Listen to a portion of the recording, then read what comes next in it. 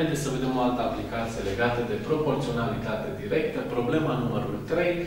Dimensiunile unui dreptunghi sunt direct proporționale cu 20 și 16, iar dacă perimetrul dreptunghiului este 54 cm, aflați aria lui.